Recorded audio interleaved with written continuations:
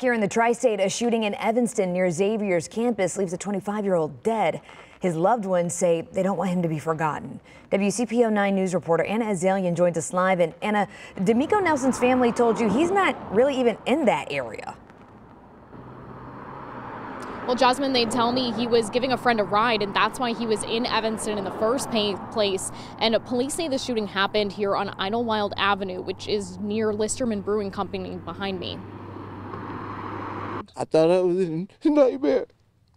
These were Antonio Dorsey's first thoughts when he found out someone shot and killed his nephew.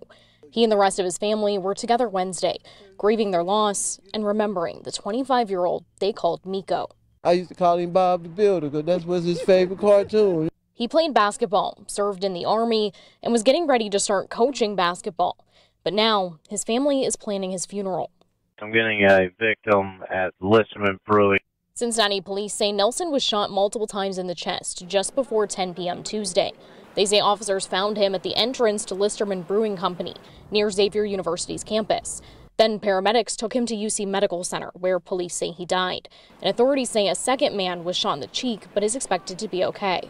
It was scary for a moment. Now it's just sad. It was sad to hear what had happened. Catherine Raynham lives on Idlewild Avenue and says she heard the gunshots Tuesday night. I was trying to evaluate where my housemate was and where the sounds were coming from and whether or not I needed to move to safety. To Dorsey, the shooting was senseless. It's getting ridiculous. It's every day, every single day. And he has a message for whoever pulled the trigger. Turn yourself in because you, you, didn't, you didn't took somebody's family member away from them, man.